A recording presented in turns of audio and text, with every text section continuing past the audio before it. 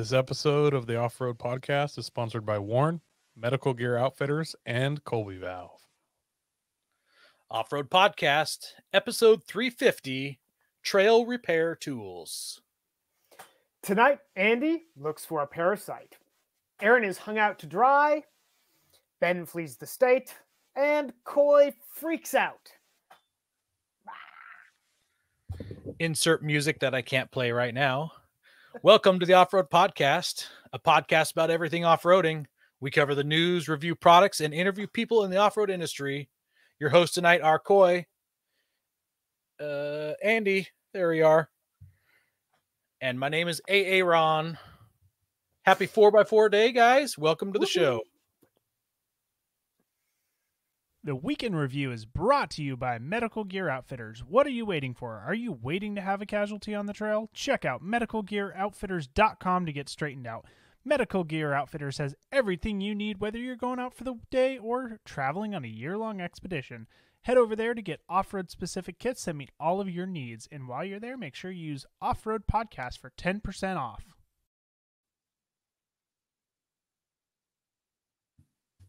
All right. Um, we got Bubba in the comments from Iron Man 4x4. That's exciting.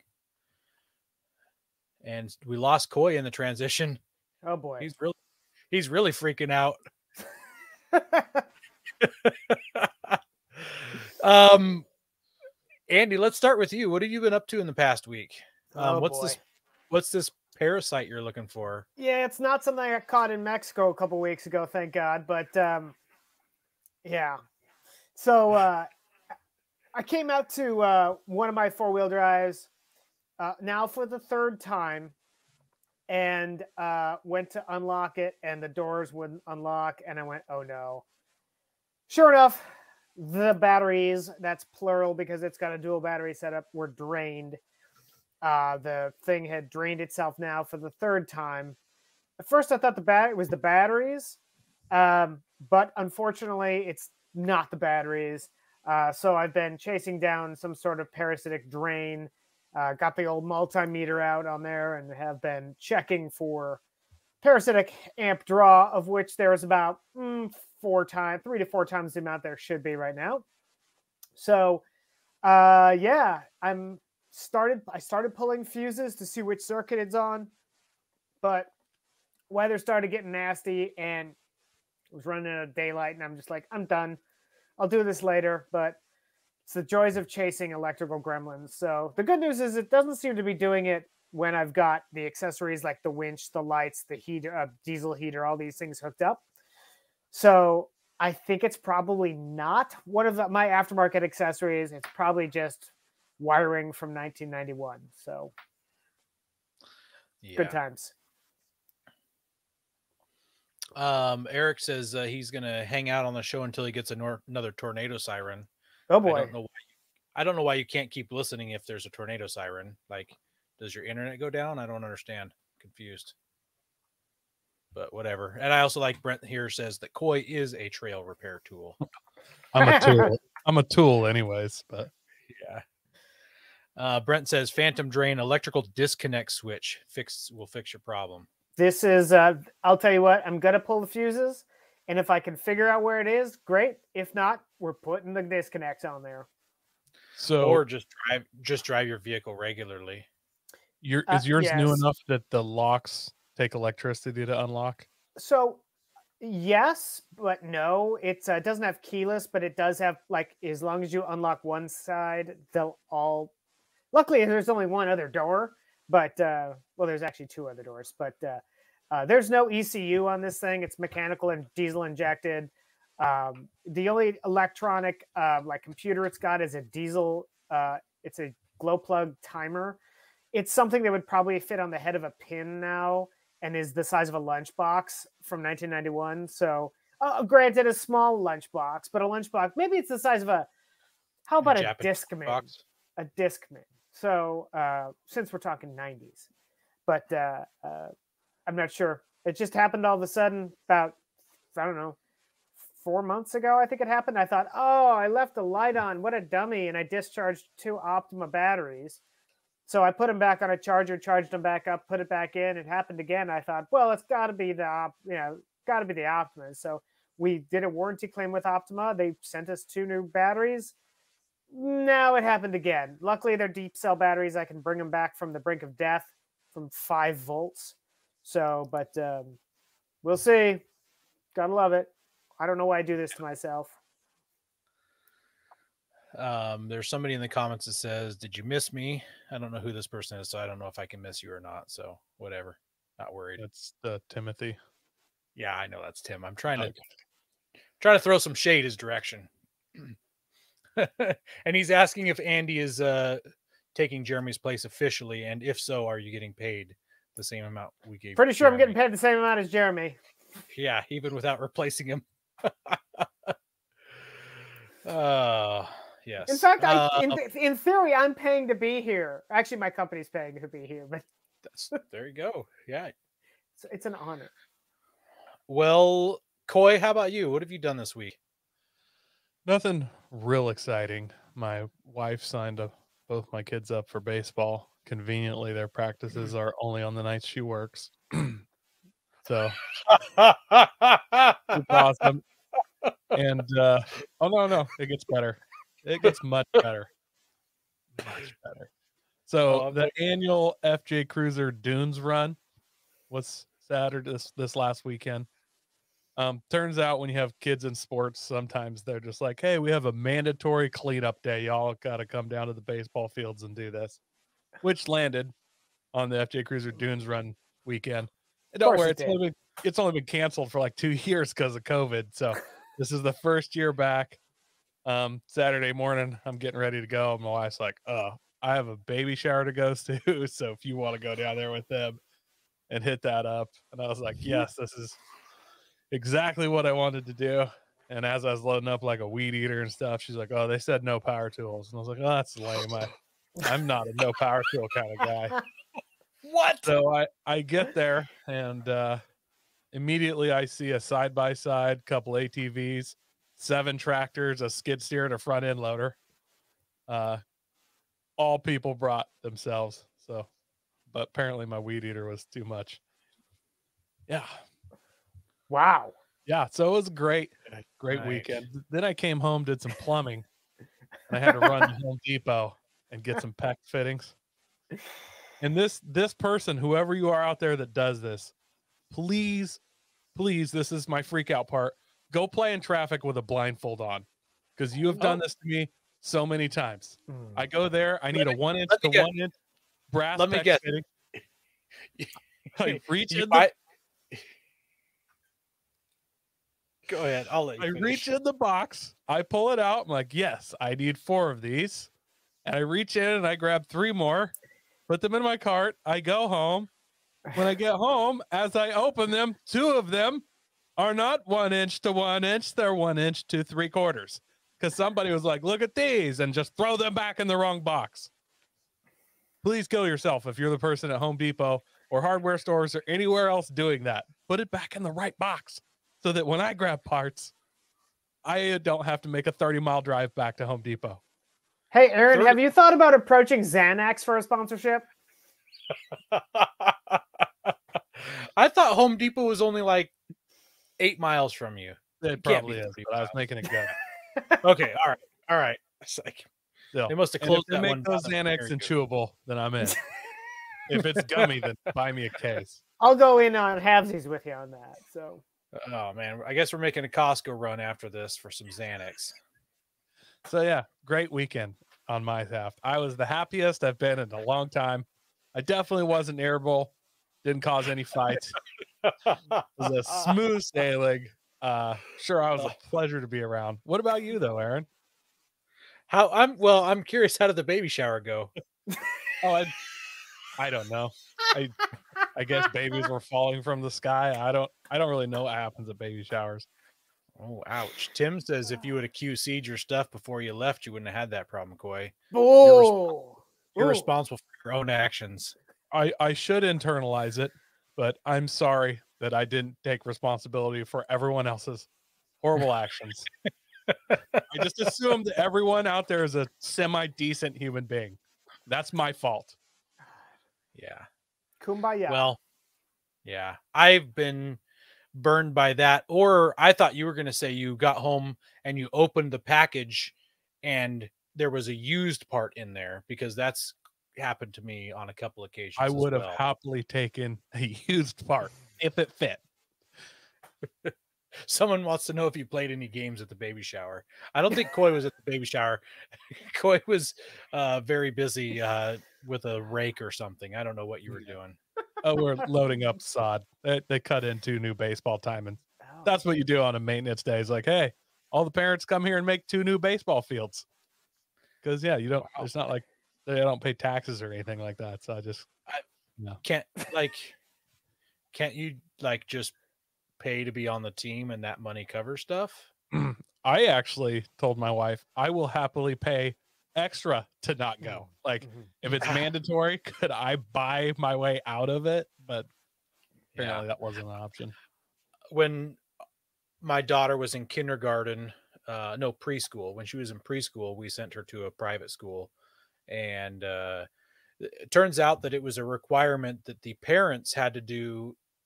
I think it was ten hours of, um, what whatever they call it, Community um, service. basically like community service yeah and they have different events that the school puts on and so of course i was like you koi and i had to uh, run the show for those things and i um, went to some barbecue and alcohol event in a parking lot somewhere and i handed out tickets to people that was one of them i can't remember what the other one was but literally if you don't go they fine you money and it was like big money Oh, that they fine you I'm totally okay with that. no it My was like Saturday is worth quite a bit of money to me. So like I five won't hundred pay to keep dollars, wow. five hundred bucks. $500? I think it was five real- hundred bucks, then then I would Yeah. pay it, but I would shoplift something from the school. Like I would take a copier home. So make it equal. Yeah, they had some pretty strict rules. So, anyways, well, uh, so it sounds like you didn't really do anything in the off-roading world over the last week, apparently. no, no, not Unless- Well, I take it back. You did. You did go overlanding. You did go overlanding at Home Depot. So I did, and then I went to Taco Bell to try and pound down my woes. oh, Taco Bell comfort food. So at the only place where you can still get gas for a dollar thirty-five. So That's it right there. Yep. But um, They got- They got cheesy fries. It's mind blowing. Yeah. So uh last week I talked about the uh the tires I'm putting on my Avalon. So here's a picture of before. Here's a picture of after. Look at those beefcake Oh. all terrains. Oh man, there's gonna be so many sweet jumps. And, the, and the- you know those things where they're like, and they say you can't hear a picture. I can hear this picture what what noise do you hear when you hear this picture? Brr, every time you hit a bumper turn. Definitely flat. I can hear. Are you saying- my- Are you saying saw that that's going to rub on my on the fender uh liner? The inner only if fender the liner? car moves? Self self clearancing fender liners. So Oh man. So I I tried I looked at the back koi where it was rubbing and it was rubbing too much for me to notch. So I ended up um, I found some lug nuts that were the exact same thread pitch and they were like the mini acorn style ones that didn't have any flares or anything. So I put five acorn lug nuts that were five eighths of an inch thick and I pushed the wheel on and it cleared everything in the back. So um, I bought myself some three quarter inch wheel spacers. Amazon's like, yep, we have these in stock and they'll be there in one day. So I put the order in, and as soon as I put the order in, it said it'll be there in two days. two days. Two days, two days will be today. Um, and um, Tim wants to know if the Avalon will beat his RTI score for the pilot. Uh, over the weekend, Tim was at an off road event with his Honda Pilot uh, driving up the RTI ramp. So we'll find out, Tim. My body, my chassis probably has more flex than your chassis. Um, someone wants to know also what's going to last longer, the tire or the inner fender. So, well, the tire's going to last longer because I'm going to get in there with a heat gun and uh, and push the inner fender in just a little bit more, or just remove the inner fender. I don't even know why we have those. They barely So- protect the back of your headlights, anyways. Yeah. Um, I don't know. Actually, maybe that's a good point. It is a Toyota. It might be throwing water into my intake like it does on all the rest of them if we don't have one. So, anyways, yeah. So it's supposed to be here two days, which would be today. I got an email this afternoon saying, well, it might be another one to two more days from Amazon. So I was really hoping they'd be here yesterday because I could have totally installed them and had it ready to go yesterday. And because they got pushed out. I turns out Monday nights I do a podcast, so I couldn't do a Monday night. Tuesday night I've got something else. Wednesday night I've got school, so I'm not going to get them on until this weekend. I'm really bummed by that, but we'll get them there. I'm close. Um, I also bought a uh tuner for the wife's F150 Oh. to increase fuel economy. Mhm. Is your wife listening? Yeah, of course. I'm not listening. sure. I'm not sure. So We'll talk after the show. no, for reals though. Um, I talked to Andy from the Horsepower Hour um, bot podcast, and he has this exact same one. And he said that when he doesn't drive it like it's stolen or have it pumped full of E85, he does get two miles a gallon better. So, um, def- desperate times call for desperate measures. So, and at the price of fuel right now, actually cheap at four dollars a gallon for the price of fuel, and right now we're at four seventy in town here. Um, for gasoline. for gasoline.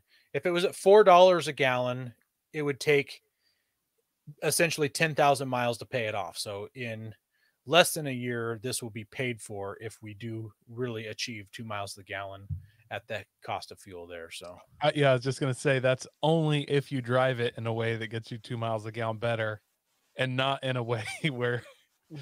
you're just Yeah. blasting fuel and air into that because you like the sounds and the feel it makes in your seat. what? I don't know what you talk about. We're gonna get better fuel economy. I mean, it's her truck. She's the one who drives it, and she doesn't drive like me. So we'll definitely get at least one of those two miles a gallon. It might take us two years to pay for it. Yeah, it. split the difference. Yeah. Uh, Brent, uh, treat yourself. Uh, Brent, I know has had some FedEx woes lately, and he says if FedEx was delivering, it'll be here between 8 a.m. and 11 a.m. in October. So Yeah. I don't know if Brent ever got what he was expecting.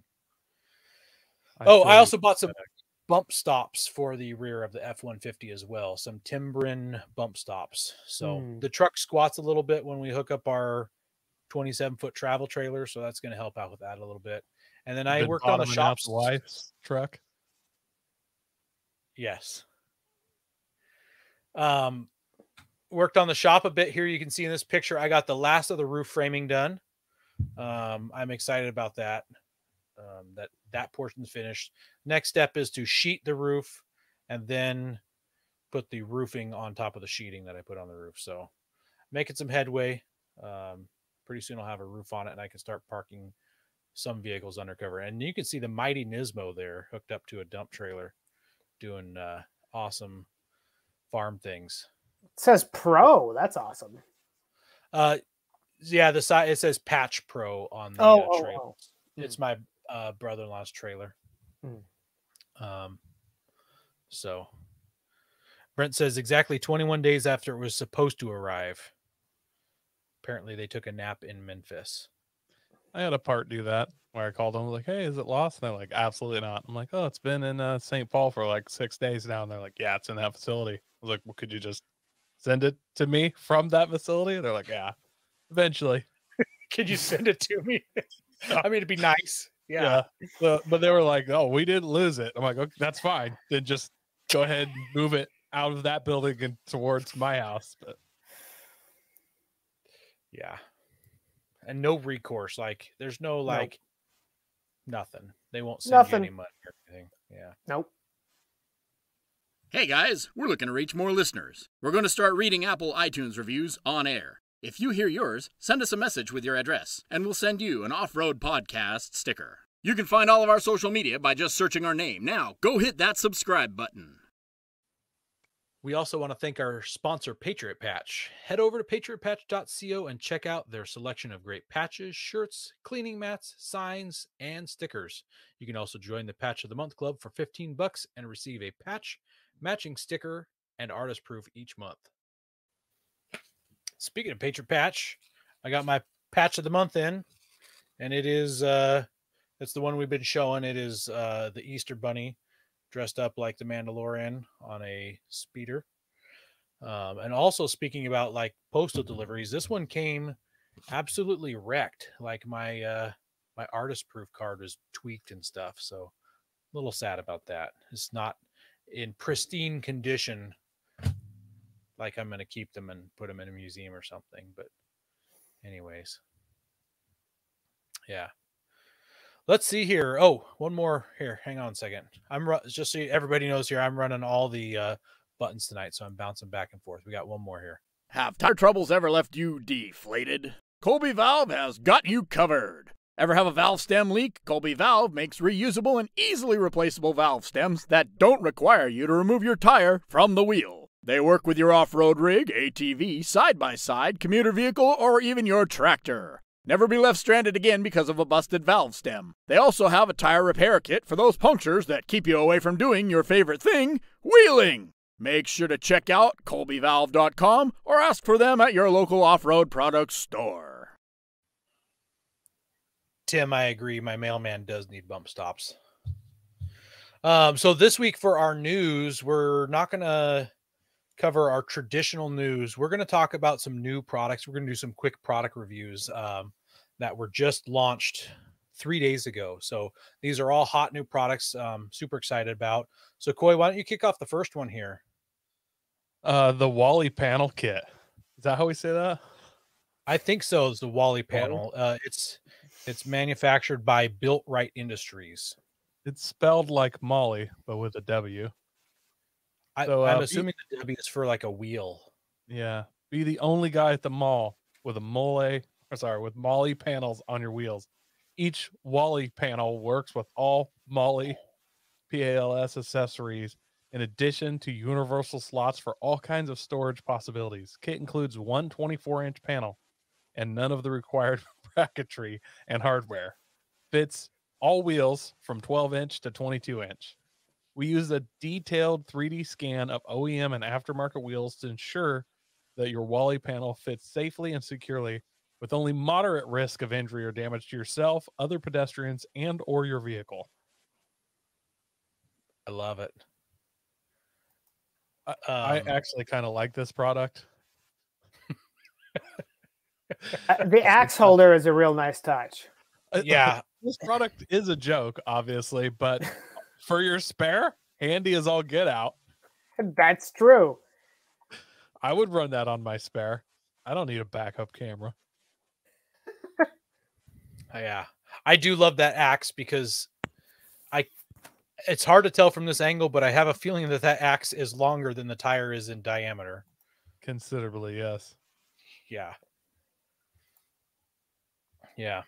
Well, our uh our next one, I don't have any pictures for our next one.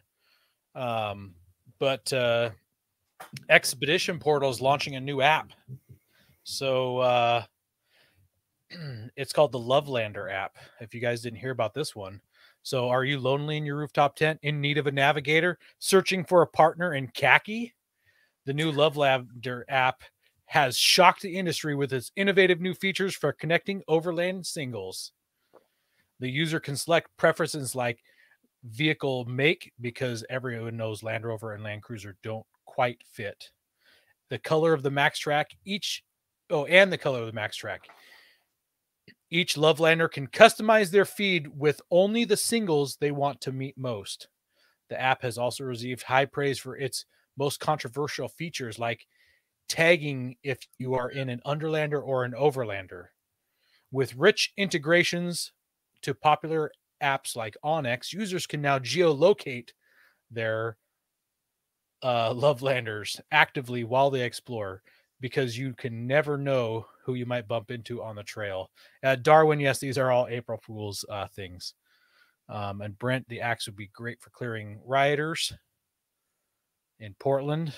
Um, Tim wants to know if FJ Cruises even have spares. They just call tow trucks. Um, let's see here. How do I delete this comment? I can't even figure out how to delete it. It's stuck I did. I well, I did want to feel more popular, but maybe not. Twitch. Yeah. That's Twitch, so nobody will see that one anyways. Uh oh, Eric says he's watching from the bathroom and not because he had Taco Bell. They must be getting some more uh tornado sirens. Um, yeah. Okay, let me uh finish this one up. Sorry, I got uh sidetracked by the comments here. So, key questions to the Lovelander app uses to find your next soulmate. Do they wear khaki only or are they open to other colors like green? Are you comfortable with glamping? Does your Tacoma's remaining payload even allow for a date to ride along? Is the smell of gear oil an aphrodisiac, skinny or wide tires? Did you buy a light bar before recovery gear? Does a shemagh make you 20% more swipeable? And if all that isn't enough, Lovelander will even compare your Instagram feed for photos of your truck staged at campsites you didn't actually camp at. And each new user receives a complimentary bottle of perfume for aspiring Lovelanders called Turbo Diesel. I think you should get- on that, Andy, um, before they I've run got out of plenty of that already. Yeah. yeah. So the Lovelander app, it's hilarious. All right, Andy, you got you got one here coming up. All right.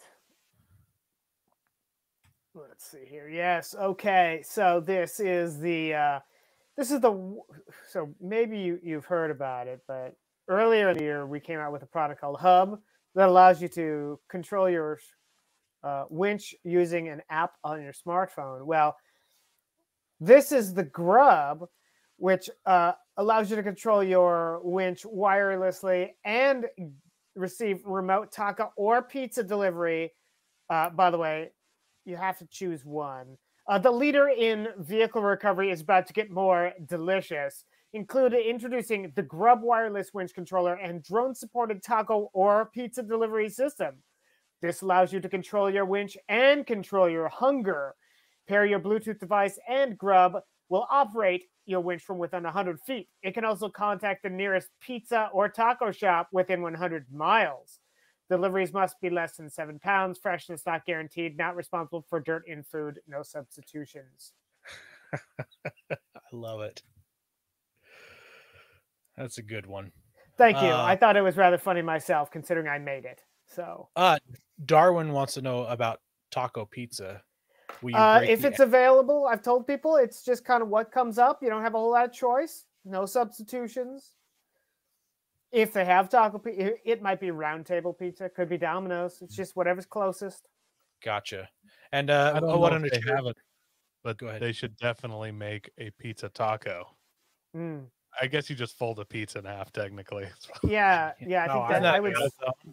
Not a I, I think calzone. I'd eat it. Yeah, I sort of.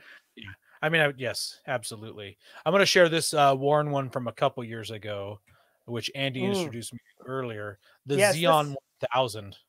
This is the Zeon 100, actually. So it's Sorry, the biggest, biggest Warn truck winch ever, with a massive size, incredible 100,000 pound pulling capacity, and unbelievable 19 stage planetary gear train. The Zeon 100 may cover your headlights, but it'll recover nearly anything. I love it. Yes, that was Oh, 2019. That was good. Here's a couple more in the pictures that uh, Coy sent to me. Um, also, the uh, the new pup up tent. Uh, it's got a uh, rooftop tent just for your dog, smaller version. And Coy, can you explain this next one to the people who Oh. are visually impaired while they're driving their vehicles? I, I honestly wish they made this. This is the Kelty 12 man chair stadium. I don't know if you ever seen the two person side by side fold out chair. Well, it's like that Yeah. times six, making a 12 seater. This could be my favorite one. It's so just like it's just so blatant. Like it's there's no there's no story. It's it's just ridiculous and I love everything about it. Can you Yeah, imagine though? You're camping with a big group. I mean, say you're at Moab, you're watching some people do a trail, and you just pull that thing out. Oh just God. stretch it out. I just love it. How soon before like just random people were like, "Hey, can I jump in?" Like you just have what a great way to meet friends, you know. Oh man. Or you want to watch the parade, but you want to make sure you have your own spot. Just pop that out early in the morning. Nobody's ah, crowding you. It's just it's just That one chair. hilarious. It's Yeah. longer than a church pew. Yeah, oh, yeah. Yep. All Brilliant. right. Yeah, those were good. There was a lot of fun stuff. There was another one by Rough Country where they made their own breakfast cereal called Rough Country Rough Crunchies. Um, and I had the video for that, but I thought if I played it, I might get some copyright infringement. And I was disappointed with that one this year from Rough Country because they usually just like nail it with hilarious Well, ones. they that one was they've set they've set the bar really high. They've set the bar really high. If you hadn't seen those other ones, would you have felt bad with with the Rough Countries? I- it Crunchies? just it was good, but it was just like you know this is breakfast cereal. But like last year, they had the Bluetooth auto rotating hot dog roaster thing. They had like a full size chicken on it, spinning it at 400 miles an hour over a fire. They did they did the uh RTI ramp that for like parking and parking lots, stick on Yeah. LED lights. Oh, the stick on winch, the, The fair lead with the winch. winch. That that Stick was that really like set the bar for me. That was hilarious. I found that hilarious, but I seen a guy that actually did that. Just bought a fair lead and like six inches of rope and a hook and stuck it up in there. See, there So- are some of these things that you look at and you're like, you know, like that roof nest pup tent thing. They'd probably sell everyone they made. I, I believe they would. Mm hmm Brent says that Rough Crunchies sounds like something um, from Taco Bell as well. Oof. Yeah. All right. Sounds like Go it. prepared with Warn Industries. They produced the first recreational winch in 1959 and lead the industry with their dedication to quality and reliability. When you dig yourself in deep, make sure you have the right tools to get yourself out. Get Warn equipped and go where others can't. Now, let's get ready for adventure and head into our main topic.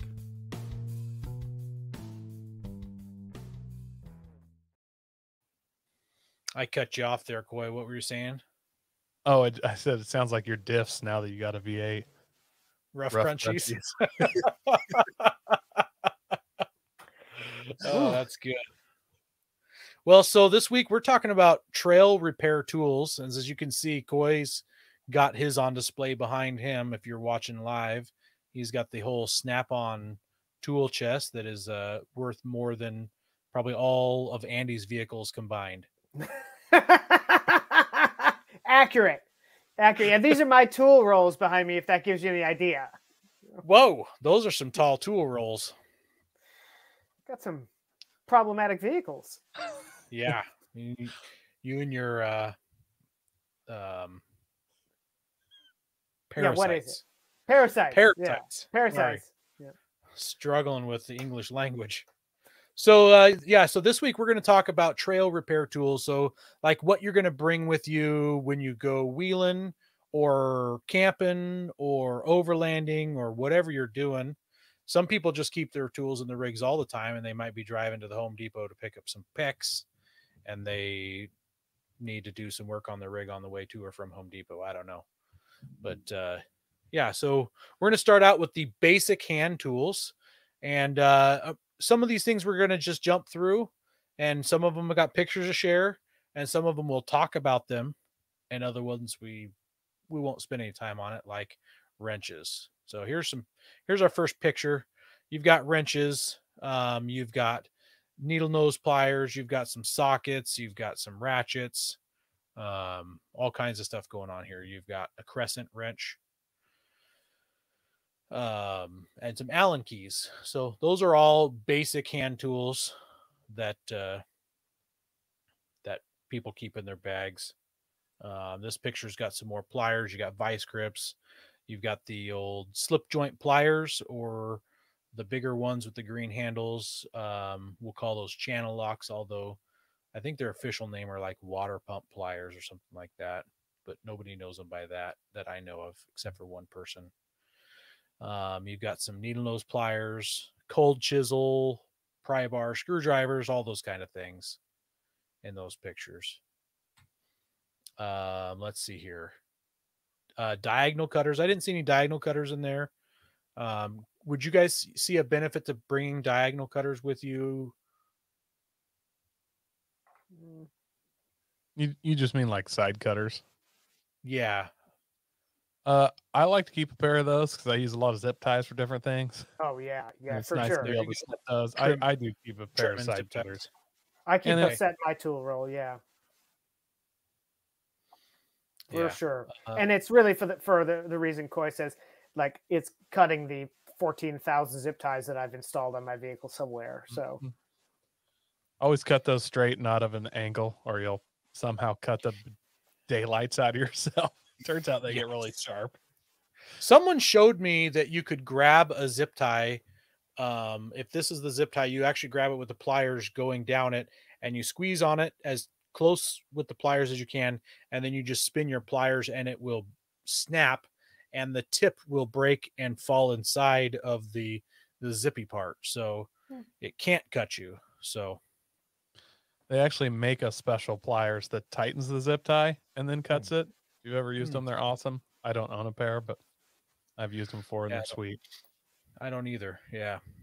Let's see here. What else in the basic hand tools? We've got uh, Axle crescent nut wrench, large, small.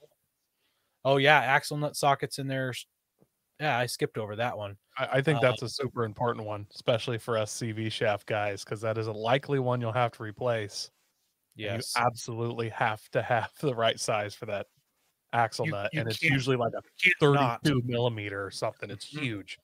yeah, the Yeah. Mitsubishi ones, the Mitsubishi one is used to be a special a special tool. It was like an axle nut, but instead of having four uh, little teeth on it, it had two. So basically, you buy like the the one for like an F two fifty, and you grind two of the teeth off. So it's really kind of specialized. So yeah, and I have Wow. three of those vehicles, and I kind of keep it uh, under lock and key because I have to have it, or else uh, I have to go buy another one and grind the teeth off that one.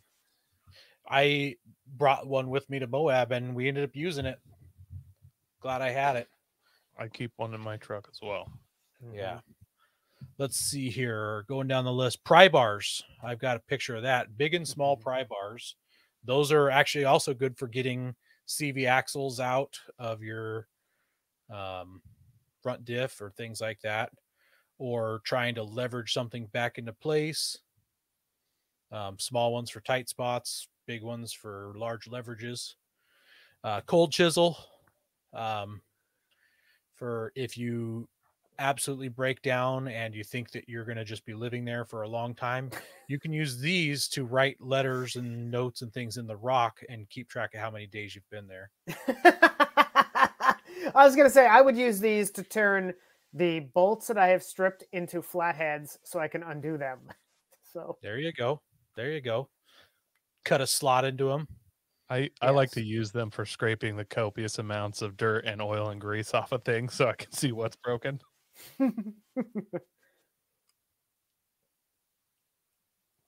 yeah. handy. Um, Allen wrenches. We talked about Allen wrenches. Here we go. Here's a picture of them. yep. Gotta have those. Those you really do have to have those. Yep. Uh, Torx bits. Here's a Torx bits. Uh, I know Jeep uses. I think probably everything uses these Torx bits nowadays, Yeah, just a, at least one or two. just to piss you off. It's just that one random bolt somewhere. Yeah, it's gonna be on something like your tailgate stop latch or something like that. Then you're like, I'll never need that. And then like for some reason you're on the trail and your tailgate's falling off. And you're like, God, I only had that T25 or T55 or whatever. That's when you find out that the fill hole for your front diff is a Torx yes, instead of a like instead a three eighths or something or a three Yeah. eighths. Yeah. And it's not even really a three eighths. It's that it's actually like that specific square drain plug bit thing. I actually bought, you know, I Oh, on I my didn't Suzuki that I was a- used to have. Hmm. You know, the three eighths would would just round it out. So I actually bought the fill plug square. To, it's like just a tiny, tiny, tiny, tiny. Anyway, it's like the difference between a between a Phillips head and a JIS screwdriver. I don't know if you're familiar Okay, with that Yeah, the Japanese industrial standard one, which the the uh, the points on the end are actually slightly different than a Phillips head. So, yeah. I learned about JIS when I was goofing around with uh, motorcycle stuff. Yes, very popular in the motorcycle stuff. Uh, I was cha- I did the front brake rotors on a Honda a few weeks back, and uh, I have a uh, impact screwdriver and a JIS, and just bam, and it comes right Bam. off. Yeah. Brent says uh, 850 10 mil sockets locked in a mobile safe. You know, an, an impact driver is something that I didn't see on here, but now that I think about it, it's probably something that would be smart to carry. I mean, you can get something Yeah. out in a hurry, and you got to just smash it with the wham bam yeah, until it starts turning.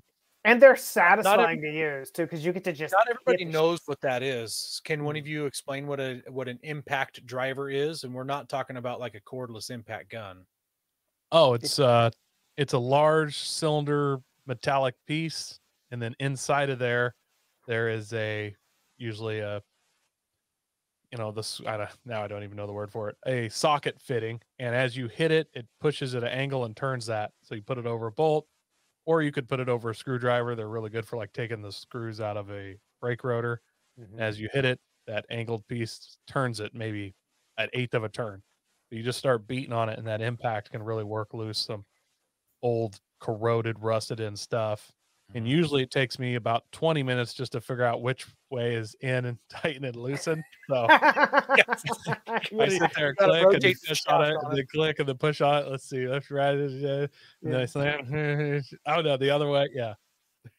There we go. I find it. I find the impact driver to be one of those satisfying tools because you know, if you do it right and you just you get to slam it and it's like, yeah, this thing works awesome. It's even like like a torque wrench is another one where you like you're putting all this in and like click, you're like, oh yeah, okay, got it. So I Um, wish that they were satisfying for me, but it's always when I'm like this. This is gonna strip, and then I, I'm like shaky handing it, like, please work, please work, please work. oh, totally. No, I totally know what you mean. Brent, Brent suggests if we're you're getting Torx to get the tamper-proof Torx ones. So the tamper-proof ones have a hole down the center of them. So there's some unique, uh, unique fasteners out there. I'll say. Yes. Uh, to finish off this list, we've got a tape measure in case you got to do a an alignment on the trail or something like that. Uh, razor knife in Mhm. case everything goes wrong and you have to. Cut your own Um, wrists. Yeah, Oh God. Oh, there's so many jokes, but I'm just not gonna say them. So yeah. Yeah. Uh, and the last last one on this list is the CV axle puller. I don't have a picture of that one either. Can you can you describe that, Coy, since you put that on the list? So I made my own, but you can buy them. A lot of times they'll be a synthetic, and it's basically just a rope with two loops. So you loop one end around the back of your CV shaft. You stick the hammer handle through the other loop, and then you kind of hold your CV shaft, and you use that rope to get a run at it with a hammer, slam on it, and you can pop that shaft out of your diff. I made one out of some cable, but works the same way. But on a lot of vehicles, pry bars just don't quite work as good as they could. And with one of mm-hmm. those, I mean, you can make them go down to Ace Hardware and have one make, you know, make one out of some cable for the eight dollars or something, and it will save you a lot of headache. I've never I've never heard of that, and I've definitely never heard of one somebody making one. What it kind of reminds me of is like those dent pullers or whatever, where you you, you weld that little rivet point onto a fender and you you hook that like slide hammer onto it and you're mm. using a slide hammer. It kind of sounds like a slide hammer. That's so they what I was actually thinking. they do make like a if you're in a shop or something, there is a slide hammer version of it, but the trail version of it is usually th- out of synthetic rope or people make them out of Gotcha. cable and stuff. Hmm. I can see that going wrong if your rope was stretchy and like you you slid it and then like slammed backwards and impales your hand onto something. Oh, so you make it like six feet long, so you are outside. You're not doing it under Oh. the vehicle. You're like holding the shaft Okay. in your hand and then I hitting see. it from clear outside. They're Gotcha. they, they're charming. and Charming. everybody everybody throwing out comments um, of their ideas a bunch of these we're going to actually cover here in uh we're going to cover in the uh later in the the show but we'll we'll uh we'll mention them as we come through here too so Um, Coy, why don't you take the electrical one here? So wire strippers, I think that's a must. Some extra wire always Here- doesn't. Here's here's the traditional wire strippers that everybody seems to have. I, mine Yes. have yellow handles, so they're totally Same. different. Same. Oh, Uh, totally different. totally different. The handles are yellow. Uh, yeah, I have one of those. Uh, you know, extra wire, extra fuses. Also know what kind of fuses your vehicle takes. Mm. If you got an old rig and you need some bus fuses, you you know, they got micro now. So kind of get an idea of what your vehicle takes before you just grab a random extra fuse kit. Uh, and also, if you buy those little fuse kits, they oftentimes come with a fuse puller and a fuse tester and stuff in there. So sometimes it's worth just getting. They'll come in a little, almost like fish lucite, you know, tackle box looking deal, and you can have kind of a plethora of those. Wire terminal connectors. I carry a bunch of these. I don't know that I've ever used one on the trail, but man, I don't know how many times camping somebody's like, "Oh, my lights out. This isn't working," and I've been like, popped it open, and here you go. I think Ben Yeah. fixed the charger for his Jackery or something on our snow camping trip, and I just had some extras there. Uh, voltmeter. I don't carry one of those because I'm not good at using them, and I just, ugh, I get sick looking Well- at voltmeters. I, I don't use it. So I have this exact one. This is the Harbor Freight one, and I got it Oh. for free. I think I probably got five or six of them for free at any point in my life. you got taken. um, and I use it for two things. I use it to check voltage, which you just put the leads in and you touch it to something to see if it's got voltage, or you can use it to check um, continuity. And if you don't have a um, fuse tester, you can check the continuity where you touch one blade and then touch the other blade on a fuse. And if it beeps or makes whatever noise, then you know that the electricity can flow through it. It's got continuity. So Yeah, the use it for Harbor Freight one- things. The Harbor Freight one doesn't beep; it just starts smoking. Yeah, it catches on Well, fire. It definitely does when you have it in the wrong setting and you're trying to test household voltage. Ask me how I know. Good thing that they're free. I, I will I, have uh, to say I, I had the uh, the two dollar Harbor Freight one, uh, and eventually it just it just died like so many other electrical things from Harbor Freight. Uh, and Yes. I, I did spend the forty five or fifty dollars on a Klein Tools one, There uh, and it's been great. It's so much easier to use, so much better, all that stuff. So. Uh, as one who is currently chasing electrical gremlins, I, I can attest to spending a little bit more money on the little bit better voltmeter, and you'll probably be a lot happier. yeah, so that's my trail one. My Yes. my one in my house is a craftsman one. My one in my tool bag is a fluke. Um, Oh, yeah. and that's those are those are Yeah. legit the fluke ones it's See. kind of funny that they have that name, but yes. yeah how what an oxymoron so yeah. I think you need like a baseline level of intelligence to use those. So that's why I have a test light. Oh, for here we go. don't know. It looks like a looks like Here's yep, the test. light. yes mine's not nearly that nice, but yes, Yours isn't coil. mine is not coiled, no. and the alligator clip is not nearly as cool looking or durable as that one, but still, God. I have Yeah. uh, used that mostly for diagnosing uh, trailer issues, but yeah trailer light stuff. But they're still test lights are are great to have. gets a and job then done uh, never forget a flashlight. you know what It is so funny because eh, that is such a it, like it's like a should be this basic thing and I- so many people forget it and out there they're out there with their phone or whatever i don't know whoever whoever invented the modern headlamp like the kind you wear i've got like Oh, yeah. 16 of them right over here in my junk pile Yeah. uh, it whenever we hit the trail we always have an led headlamp with us they're just a lifesaver Yeah, and sometimes you can get flashlights for free at Harbor Freight too. yeah they usually last as long as their voltmeters well, they're good for one trail run. yeah one trail run. Yeah. Well, Andy, why don't you talk about fluids? Yeah, sure. Uh, this is something I I uh, probably know all too well. So uh, engine oil, that's kind of a no-brainer, especially if you own uh, an older an older uh, leakier rig like I do. Um, so uh, whether it's uh, engine oil, uh, gear oil, transmission fluid, that kind of stuff. Uh, I generally carry some 15 uh, uh, 15W40 with me, which is what my diesel rigs take.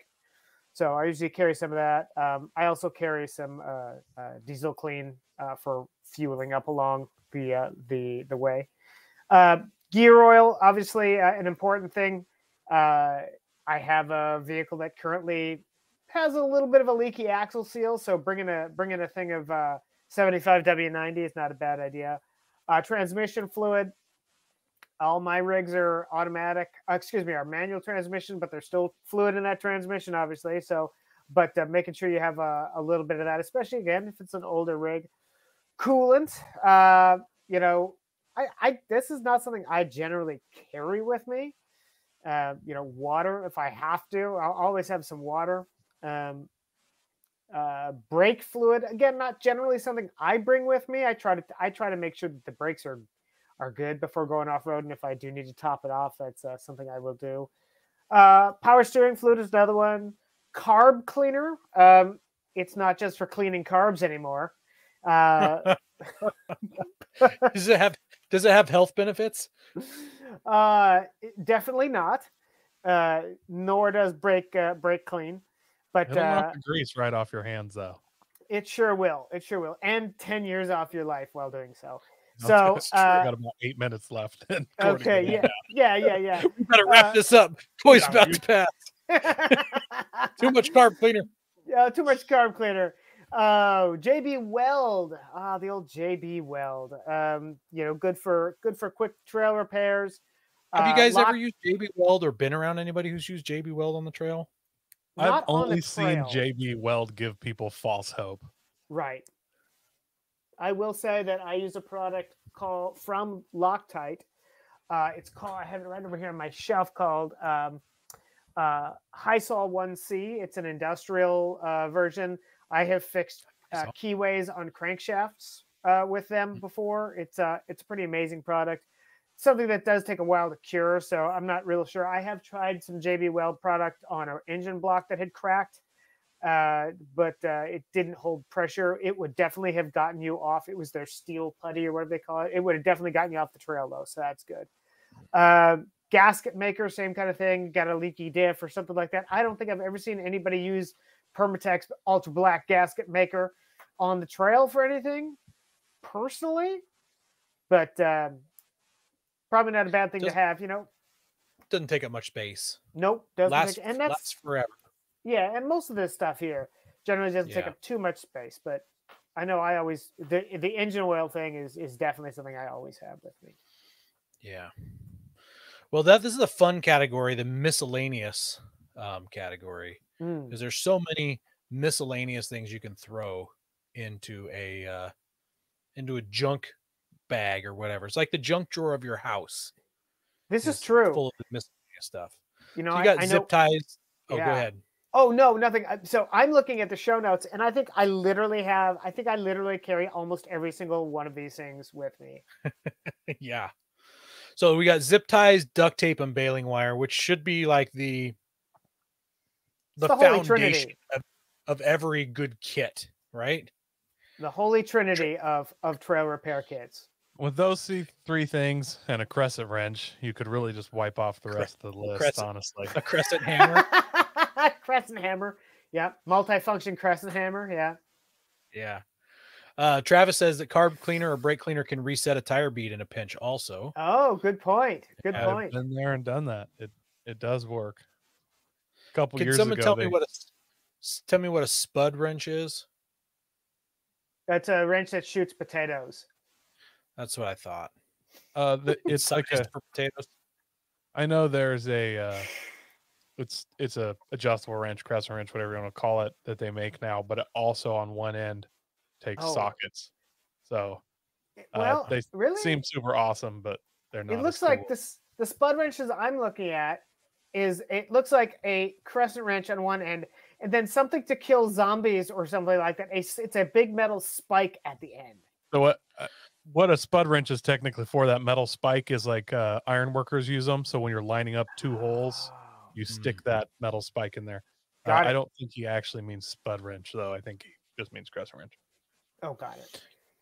Kevin here says that he carries trans fluid and will work as power steering, gas tank repair, water, and some brake fluid, and of course zip ties, duct tape, and baling wire and pantyhose for makeshift belt nose repair. I didn't know that tranny fluid could work for all those things.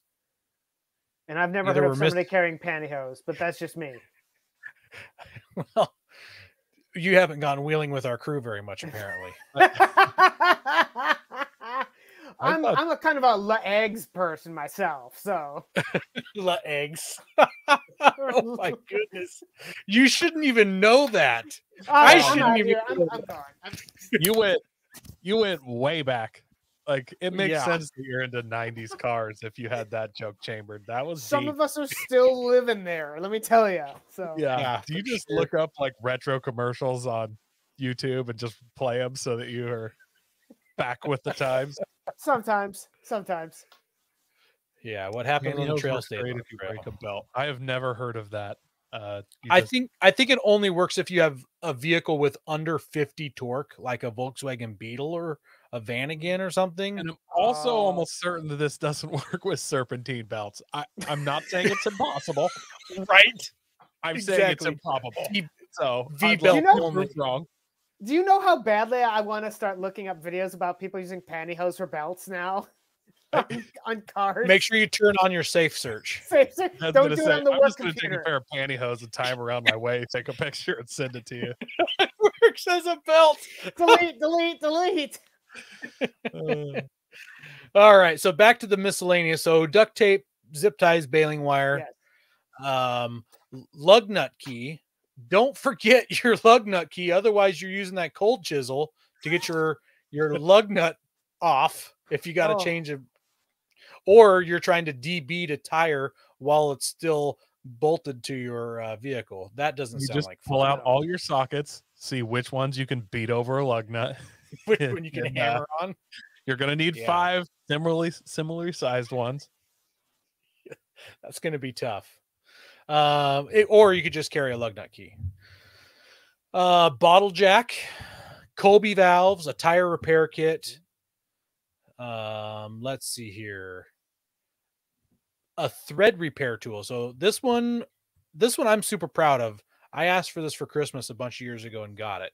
And most Oh. people have never seen it before. So I haven't. you've got a you got a damaged bolt and you need to chase those threads you just slip it into this tool this tool is called the thread mate i got it from or my wife got it from duluth trading company um, and you just crank that knob down until it's mostly tight around the bolt and those two two cutting teeth are sloppy enough left and right that they will plop into just about any thread and uh, you can Hmm. spin your bolt in and out of that and chase the threads clean and and maybe good enough to get it back in. Have you used it yet? I have several times. Yes, sir. Okay. And a ringing fact, the- endorsement. In fact, the year that uh the year I asked for it for Christmas, um shortly before Christmas I was fixing something that was broken on my Subaru and I'm like, "Hey babe, I know I asked for this for Christmas. Did you get it for me for Christmas? Because I could really use it in the garage right now. You don't even have to wrap it. I need that tool right now. She's like, Now. no, I didn't get Ah, So, yeah. Hmm. Uh, so yeah, that's I a like- thread repair tool. I like Hmm. Dakota Todd's comment here. Uh, mule tape. Yes. oh yeah. Mule tape, or also known as flat rope. It's the rope that's flat. Um, it says it's handy to bring. Thin flat rope. It's normally rated for 2,500 brake strength. Endless uses. I get lots of it f- from work for free. I also get lots of leftover reels from work for free as well. Yes. Yes. I, I, I Uh, you know, on that on that note on mule tape, I carry a I can't remember the name of it, but it's a high pressure tape. It's it's not very wide, but it'll go. You can wrap it around um, radiator hoses and stuff like that, and it's pressure rated, all that stuff. So just As in case seen that on spring a leak. I Yeah. I also carry some of that. The stuff I have is an inch and a half or so wide, and it Mhm. kind of it's like a rubberized and it only sticks to itself. hmm Yeah, yeah. It's that Yeah. stuff is uh, handy. How about a uh, oil spill kit? Do you guys carry an oil spill kit with you? I I do have a shovel. Yes. Yes, I, I have uh, I have I carry cat. What are they? Puppy pads. You know, like Puppy uh, pads? Yeah, Yeah. it's like uh, put put under the thing. So Pig pig mat. Some people call it pig mat, or maybe it's a brand pig mat, but it's an absorbent uh, cloth for that purpose. right. hmm Uh, well, this one here is made by a company called Poly Performance. It's not very big. It's about the size of a first aid kit, a Boo Boo first aid kit, and it's got most of the things in it. I think it's only like twenty six bucks. So that's the And brand honestly, that I. I believe most off-road parks now technically require you to carry one of those. I don't know if you're going to get checked, but that is in the rules that you're supposed to have a spill kit. And some clubs require you, if you're going on runs with them, to have these for the runs after you've left Taco Bell. Um, airline fittings. Here we go. Here's an ARB airline fitting kit. Um, Jeremy could have used this on our snow run. I had one, but it was back at my house, not with me, so he did not get to uh, bring it. Uh, Brent says Dakota's sleeping bag absorbs oil just fine. oil spill. You mean you must mean dust control? Yes, it definitely is a dust control. Uh, hose clamps. In case you break one of these guys, they're they're, they aren't very big. You could throw some of those in. Um, random steel for welding. If you've got a welder with you, and you don't want to use your wrenches, hmm um, just throw in a couple chunks of um, mild steel. Let's see here. Aluma Seal radiator sealant. I hadn't thought about this one at all, but it kind of makes sense. You get a puncture, you uh, were hot dogging it, you went off the trail, you crashed some trees, you got a branch through your radiator. Maybe you need some Aluma Seal. Or you get the uh, fire resistant, great stuff, expanding foam. send it.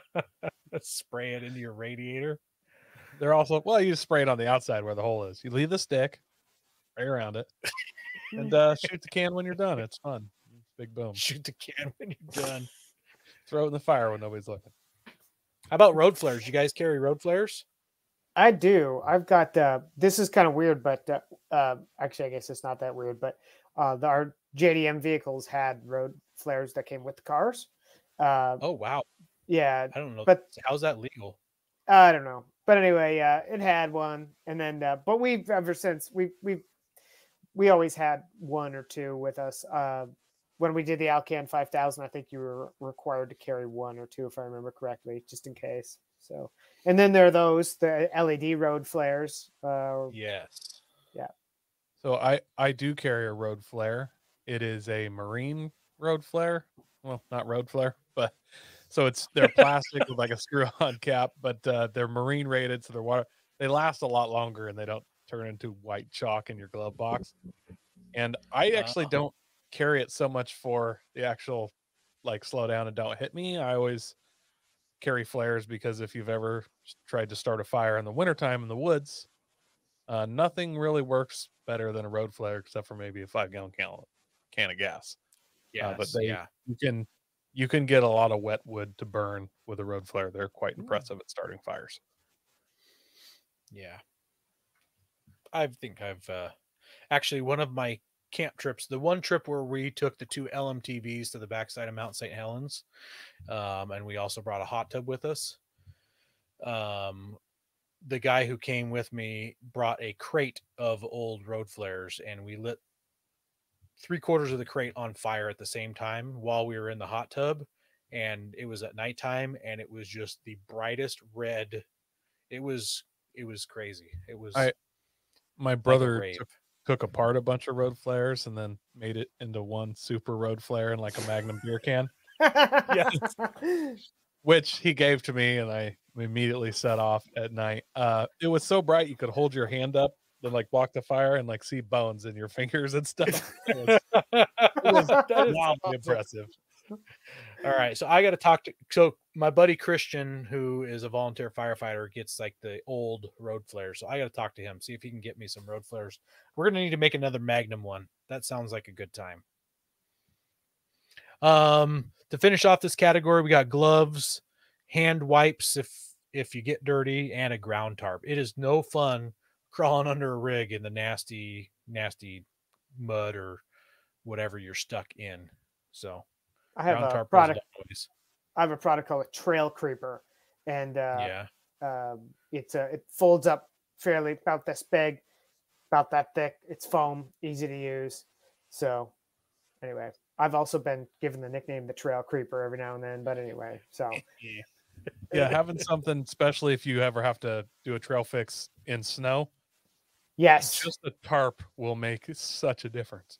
There was a, a slightly damning photo that my wife took of me when my buddy Martin and I were out towards Bend, and I had to get under the van. And we the only thing we had was this like polka dot beach blanket thing, and so like I'm underneath, I'm underneath this thing, like wrenching on something, but I'm on this like hot pink beach blanket. So anyway, So Awesome. you and your buddy Martin got under the van with a polka Yeah. dot beach blanket. I'd rather not talk about it. But anyway, Sounds like an interesting So- story. I'm gonna throw another plug for Harbor Freight. Sometimes they got those tarps for free, so free tarp, and they're they're not huge. They're only like four by six or something, but that's plenty big to. uh a twister mat. Is that what you carry, Brent? Is a twister mat for when you work on rigs? That would be so awesome to pull out a twister mat. it I would might be. actually do that now. Oh, Just keep uh. Going rolling to going to Goodwill and looking for a twister mat. I mean, you just fake like you break down just so you can pull that thing out. I guarantee you, love you don't need to bring the spinner. There's an app for that. So oh yeah, oh yeah. Yeah, there probably is. All right, Coy, let's talk about expensive stuff. What expensive my- stuff you got on list here? stuff. A ready welder. Those are expensive and they take up a decent amount of room. I think they're pretty awesome. I, I've been Have you ever told used you one? I never have, and I've been told that if you take jumper cables and two batteries, you can uh, weld with with like jumper cables and welding rod. I've never done it, but I actually would like to just test it out sometime. And then we also have battery or air powered tools. Also expensive. I do bring some of those on occasion, depending on how far I'm going and what I'm doing. But impact gun, chisel, ratchet. Uh, I'll bring a drill sometimes just because they're handy more around camp than anything. But yeah. Uh, saws off. You don't have a of holes in chainsaw and a nice pruning bit for it can actually move a lot of wood. So there's a lot of handy reasons to Yeah. bring that. And also, most of these companies that make these, you know, electric tools make a very nice light that those clip into. I have a Yeah. kind of a wide Ooh, good. angle LED light, Ridgid is what I have. Yeah. But uh, Yeah. I use that working on my cars and trucks in the shop, and I bring that camping. It's great around camp Mhm. and doubles as if you're laying under your truck having some light. Uh, an air compressor or a Pro Eagle Jack. Who doesn't want one of those? So have I, put both- air com- I put the air compressor on here specifically. I picked the ARB twin suitcase one that has the I think it's a one gallon tank because if you're gonna run air tools, you got to have some sort of reservoir for the air to build up and for it to work. Right. Dakota Todd says an electric impact is a must. Actually, that's a good point. I'm not sure if this is what he's referring to or not, but you can get 12 volt corded impact guns as well. So it plugs Uh, into your cigarette outlet. I mean, also a power tank could could be said instead of an air compressor because those probably run Yep. uh, uh, air tools better than most air compressors. Absolutely. Absolutely uh, would. I have a Pro Eagle Jack and I love the thing, but I Yeah. I do not have the room to bring one with me. They're they're kind of big on their own, but uh, they It are they are pretty awesome. But uh, I suppose if you had like a trophy truck or something larger, you could you know they make the version without the wheels and it's just got the skid on the bottom. I've seen some people that you know put them in the bed of their trucks, have a mount for them and all that stuff. But uh, I I will say that uh, uh, that's the best way to to to jack the truck up. Uh, and I I have bottle jacks, and especially off road, you're just like, oh boy, am I gonna am I gonna lose a limb today doing this or what? But Another one that's kind of doubles as a tool and sometimes a recovery item. Set of little wheel chocks. Uh, Oh, yeah. hurt. I I don't always carry wheel chocks, uh, but occasionally I have when I know I'm going to be doing some intense winching. And if you're working on your vehicle, obviously wheel chocks can be a lifesaver. Yeah, that's a great Yeah. suggestion. We used my uh, Milwaukee 18 volt impact gun. In fact, it's the one in this picture right here. The mid torque is what they call it. It only goes to like 650 foot pounds, so it's not a ton of torque. Um, more torque than any bolt on your vehicle would ever need. But uh, we use that to change the uh, axle out on the front of my Frontier, and I got to say, we did it in 45 or 50 minutes in a parking lot, and I was super excited with how quick that was. Uh, Dakota Todd says seems a bit frivolous. The Pro Eagle, I do agree. I was looking up the uh, pricing on them when I was doing the research for this, and uh, I was like, "Oh man, sweet, 160 bucks for Pro Eagle. I didn't know they were that cheap." And the 160 bucks was actually this like aluminum mounting bracket for the Pro Eagle for your vehicle. so the Pro Eagles are like 600, 550 or 600 bucks or something for their for their big guy. And if you've got an extra 150 laying around, you can get the sweet aluminum bracket to put it in on your rig. Well, that's the I- other thing is like I I bought the Pro Eagle. I got it. I got it for a deal at at Jeep Safari one year, and Nice. I don't take it with me. But it's you know I just I was done using a regular jack with like wood stacked up onto it to lift up my four by fours. It's just like it got super sketchy one day. I'm like, you know what? Fine. I'm I'm just doing it. I have a I have say a safe jack as well. Um, unfortunately for me, the safe jack is either always too big or too small. Like it's probably just the vehicles that I own, but I I can't use a safe jack with any of the attachments. It seems like because it's then too have- big to get under the vehicle. Well, you must have a vouch- mid-size vehicle instead of a full-size or a small vehicle. You must have mid-size vehicles where it's too big or too small for you. It, it yeah, I mean it's a you know it's a Mitsubishi Pajero or Montero on 33s with a you know inch and a half, two inch lift.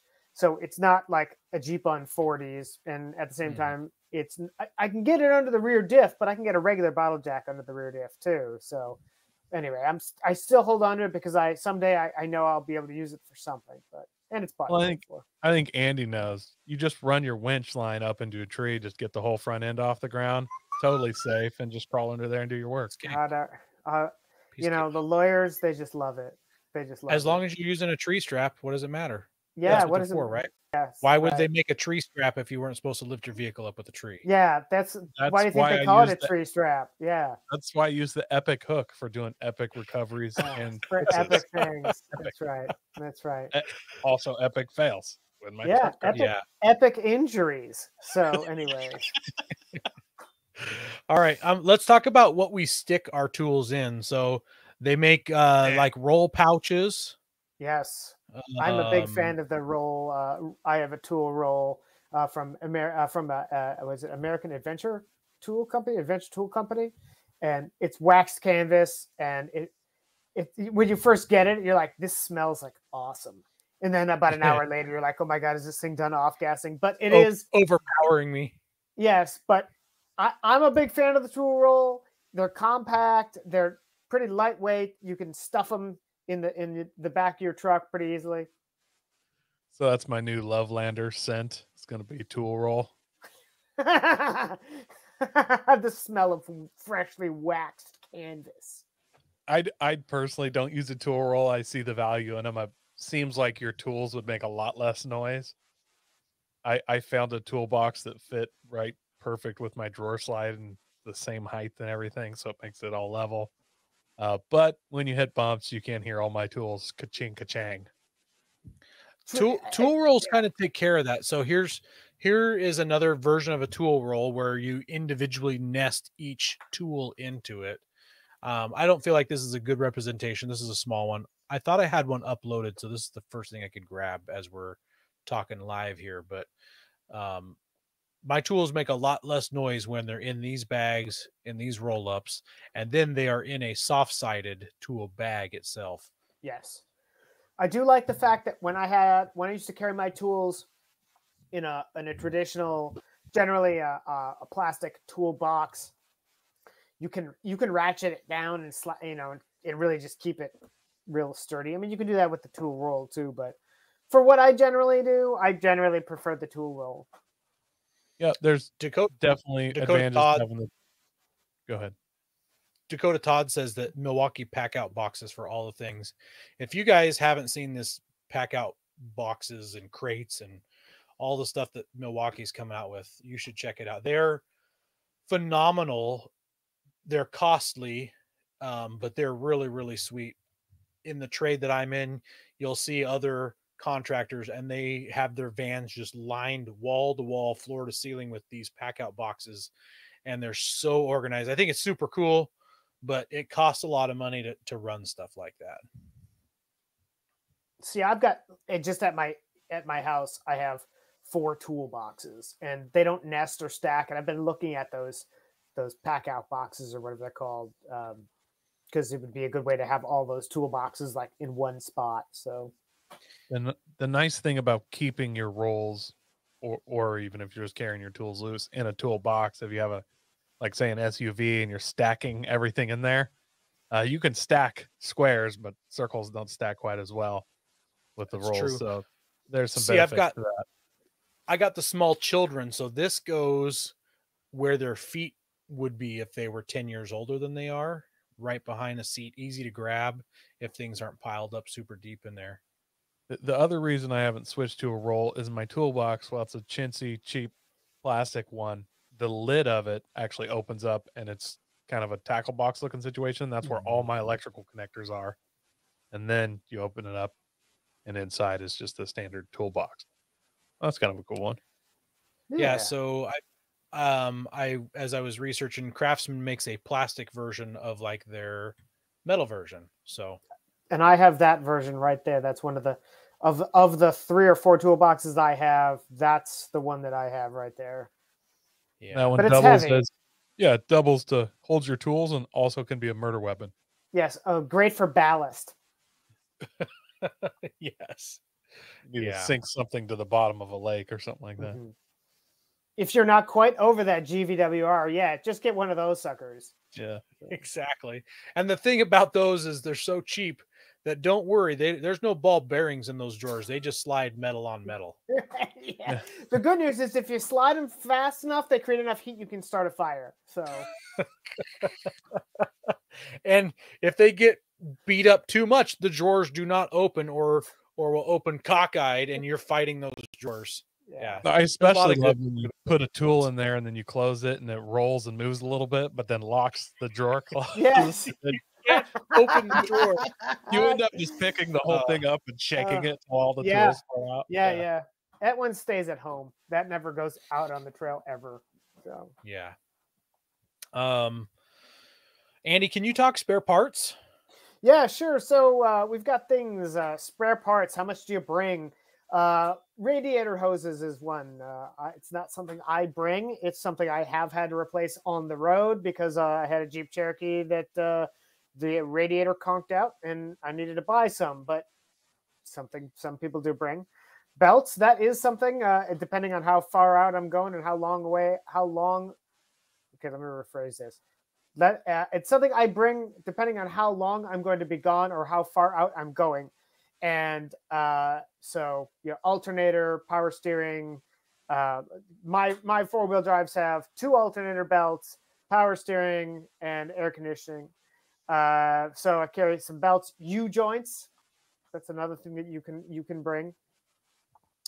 Uh, axles. I know uh, some people do bring trail spare axles, especially if you're out there wheeling hard, like Aaron. Uh, you know, It's a bring it- Toyota bring it- thing some of you might not understand. yeah. uh, fuel line. Uh, that's something you can bring. It can be Like that rubber like the ru- yeah, rubber fuel Mhm. line might be Mhm. multifunctional. You could use it as a vacuum line maybe. Yeah, One brake line. Saved me on two occasions. Uh, keep a handful of kind of appropriate random size nuts, bolts, and washers in your toolbox. They can just Yes. bounce around on the bottom there, but uh man, they, they will save you at some point or save Oh, somebody yeah. you're with just to have just a you know nice big handful random nuts, bolts, and washers. Yes. You know, if you have a metric vehicle, then make sure they're metric and so on and so yeah. forth. Yeah, yeah, for but- sure. I think that's a I think that's a really good idea. I know I, I have a random assortment of that stuff. Um, brake lines. That's not something I have ever brought with me, but I threw brake lines on there. Maybe Mm-hmm. like you upgraded or changed some out or something, and, okay, and you fair had enough. your old ones. Maybe you could throw your old ones in because and maybe I'm not wheeling like this, but there might be somebody who flexes out so much they tear one off because their limit strap broke or something silly like that. I don't know. There are a few there are a few instances where, you know, you've made modifications to your rig that are really specific and carrying another one just in case you break it because you know O'Reilly isn't going to carry it. Uh, one of the, a Facebook user here, I'm not sure who it is, said a spare key. That is something Yeah. that I've gotten in the habit of doing too. Is especially if we're going out somewhere long ways away, is I can just like you know you get out there and you're like, oh my god, I can't find the key. And Now I'm stuck here in the middle of nowhere. Um, leaf spring U-bolts. Go ahead. I've never actually lost a key while I'm out Me wheeling. neither. My Knock- wife is on one wood. of these kind of people that when I'm wheeling, I just leave the key in it. You stop, I leave the key in it. That way it never gets out and never gets lost because the key is in the ignition. Yeah. My wife thinks that it'll get stolen if the key's in the ignition. Even if you just Yeah. Well, of, are cour- in the of course it will. You're 200 miles from nowhere. Yeah, you so don't know who's around the bush. she That's often true. will pull the key out and then put it in her pocket, of course, without telling me. So then I, I jump back in and then I'm frantically searching my Yes. pocket and I start losing my mind thinking I dropped a key. it's happened more than once. Yes. Um, Brent also, by the way, mentions another thing that I always bring with me, which is ratchet straps. I always have at least one ratchet strap with me just in case. I've seen I've seen them used and employed in a variety of situations that I never would have thought of. One time coming back from Arizona, a buddy's uh, swing away spare tire uh, carrier latch broke. Hmm. So the uh, ratchet strap came in came in well, uh, came in useful there. Uh, another thing, clutch. uh, yes, yeah. Uh, another uh, another thing we got on the list here is uh, leaf spring U bolts. I don't Uh, know. I read that one in some other thing. I just I put that in there. Maybe once again some hardcore wheelers are breaking these when they are rock bouncing or something. Right. I don't know. Yeah, I don't know. Um, Rhett, Or Coy you live in a salt belt. Yeah, maybe. Uh, Coy talked about the random hardware. I think that that's a that's a really good idea. I see we have Heim joints on here. If you've got Heim joints, a Heim joint thing going on, then uh, maybe Do they not a break? bad idea. They do. They do. Okay. They do. All right. Well, that's our uh, that's our list. Uh, going back through the comments, um, it looks like we covered almost everything that people were mentioning here, um, except for early on there was like a Leatherman type type tool mentioned early on. Let's see here. I I carry. Leatherman and all uh, with me whenever we go out. It's just they've got super sharp knives, super sharp saws, Mm, flyers, yeah. just in case I guess my in case my tool roll fell out of the back of the vehicle. I don't know. Well, And the thing about having a good multi tool is like most of your regular hand tools won't really give you the kind of intense blood blister that a good multi tool can. And I Yes, always like to just when I start working on a rig, just Yeah. really pinch the daylights out of something and just throw myself into a screaming fit before I really get down and fix it. So yeah. Well, you yeah, you really want to hurt your hand, the one that you need to Yeah. use to work on your vehicle. well, because it can only get better from there. Mm. So you gotta you gotta set the bar and then go Yeah. up. from there. Uh, Brent also mentioned that he uses resettable fuses. So he says he almost ran out of 15 amp fuses troubleshooting a vehicle on a trail for someone. Um, I have run out of fuses uh, back in the uh, endurance racing race car days. Um, we had a pinched wire, and the only way to find out what wire was pinched was to keep putting the fuses in it, and then we ran out. So Mm. If you're a boss, you just have a nice little piece of tinfoil folded up in your truck.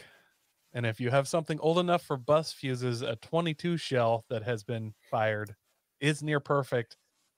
And I wouldn't say it's resettable, but it's almost unblowable. So you'll find out where Um, the you'll find out where the short is eventually yeah. from the smoke. Yeah. Well, last thing to go over here is we've got some ready-made kits um, that I just threw in the show notes. We're running real long, so I'm not going to cover these really much, but we've got we run the gamut from some Harbor Freight ones for 40 bucks to a GearWrench one that is um four thousand four hundred dollars. That is an impressive set. quite a bit more. What's crazy is it only has less than double the amount of pieces. So I mean, if you the have the forty money dollar for- one is 130 for a four bucks. thousand dollar tool set, pieces. Couldn't you just buy another trail rig? Just leave yours. Just tow it behind your other rig. This is probably what somebody would be buying, and it's in their chase truck or something like that. So, yeah, and honestly, these are just are, a bunch of random ones. yeah, these are all And these are- These are all like super basic though. They're sockets, ratchets, wrenches, a couple screwdrivers, a couple pliers, maybe a hammer. There's not a whole lot going on in these kits. Even the 243 piece Kobalt kit for 150 bucks. Um, you there's you need to supplement these quite a bit. And I don't know about you guys, but it, at least with my rigs, I, it's generally like four sizes, and I can disassemble like ninety percent of the car. So I try to put together my own toolkit. I'm leaving the I'm leaving some of these wrenches at home because I just I know I'm not going to need, you know, some of this stuff very or very unlikely. So I try to keep the the tools to a minimum because I don't want to bring my entire rolling tool chest of stuff with me onto the trail.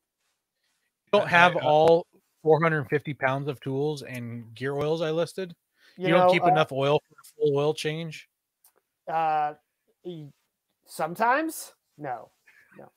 Andy makes a great point on that. If you, especially if you work on your vehicle at your house, you'll quickly figure out. I mean, Toyota, it's like I need a 10 mil, I need a 12 mil, I need a 14, a 17, and was it Yep. 19 or something. 19 And then 20, you know you get a deep one of those, you get a GearWrench of those. You can throw some other stuff in, but I mean, for those four, you can just about take the entire vehicle apart, though. Yeah. Just a couple others. You start changing, you know, you know, things with CV shafts are prone. Those are so you change one or two of those, you'll know what you need to change those, and you kind of customize your toolbox. And uh, you know, you, you don't necessarily need a full kit of every single A complete set. socket and deep well. and You'll know what you need Yeah. if you do your own maintenance and stuff pretty quickly. yeah, you're leaving the 238 piecer at home. So Yeah.